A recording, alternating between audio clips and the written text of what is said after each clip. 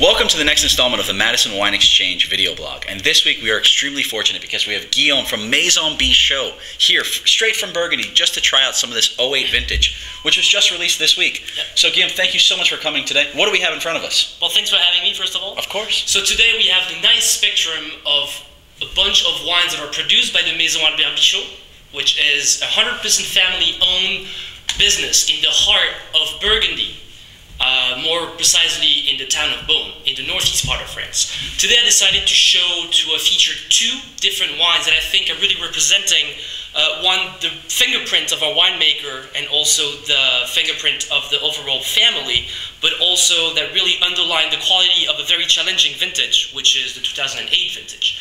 Uh, 08 was a late vintage, which means that we had to harvest later than usual because um, the flowering started later on than usual. So we had to wait to make sure that the grapes would be ripe Thank you.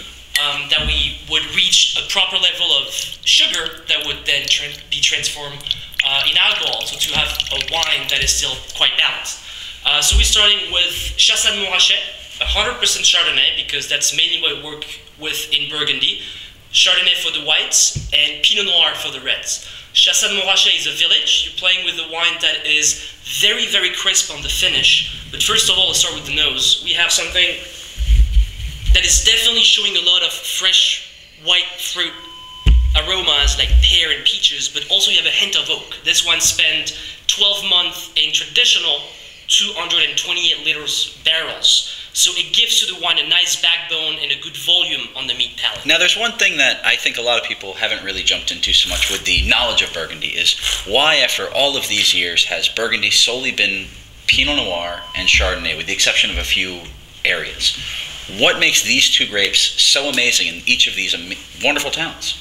Well, you have to understand that in Burgundy, the monks back in the 1100s starting planting vines, and what they had access to was basically Chardonnay and Pinot Noir. Also, other grapes like Pinot Gris back in the days, Aligoté or Gamay or other obscure grapes that they eventually stopped producing because it'd be too hard because the weather wouldn't be uh, good enough for those grapes that wouldn't be adapted to it.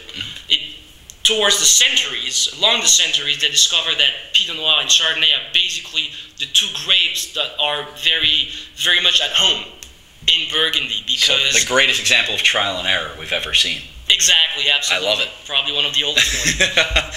so here we have this Chassagne Montrachet from the 2008 vintage. Correct. And I mean, this this nose is really bright. I'm also getting a somewhat flowery note to it. Absolutely. Sorry, I have to spit. Uh, but definitely something very flowery as well. Very much spring flowers. If you go um, hiking in the mountains during the during the spring, you get that same kind of flavors to it. So a wine that is crisp but enough backbone. Enjoy with it with fish, shellfish. You go from oysters, clams, shrimp, all the way to fattier fish like halibut, for example, would be a very good pairing for it.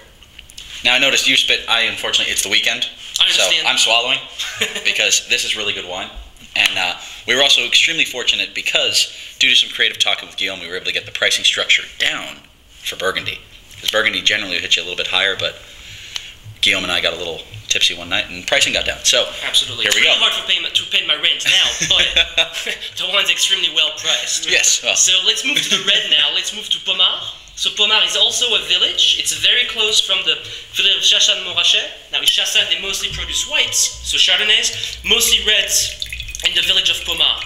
You have a wine that is definitely, I think, showing the, the real potential of the vintage, of 2008 vintage. A lot cherry, a lot of very fresh red fruit characteristic to this wine, but at the same time, a good tannic structure.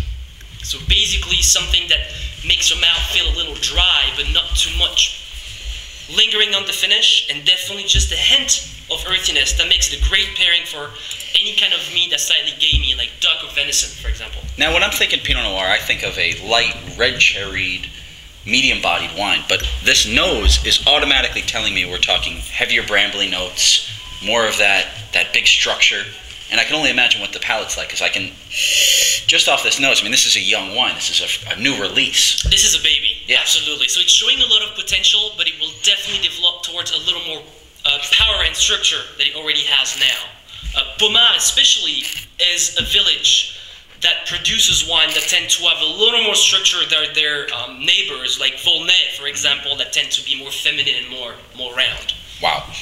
This really builds up on the finish there. You kind of get a wave towards the end that really makes this wine. I mean, unfortunately, yes, it is very young.